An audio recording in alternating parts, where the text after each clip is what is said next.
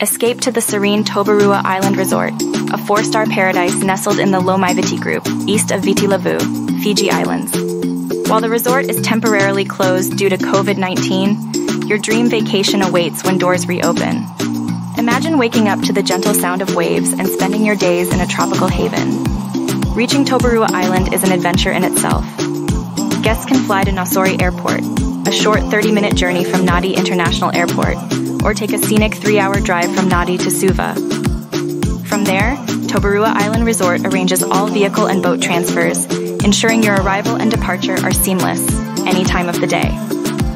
Children under 12 enjoy these transfers free of charge, starting with a 10-minute vehicle ride to Nakelo Landing, followed by a 30-minute boat trip to the resort. Once you arrive, indulge in a plethora of amenities. The resort offers complimentary use of snorkel gear, kayaks, stand-up paddleboards, and a catamaran. Challenge yourself on the golf course, explore the ocean with non-motorized water sports and PADI scuba diving, or try your hand at game fishing. With 24-hour security, a day spa, beach location, and even a babysitting service, every detail is catered to your comfort and peace of mind. Retreat to your tropical oceanfront bure, designed to blend traditional architecture with contemporary style. Suitable for up to three adults and one child, or two adults and two children under 12, these bures are strategically placed between the premium and entertainment bures, offering an intimate and luxurious stay.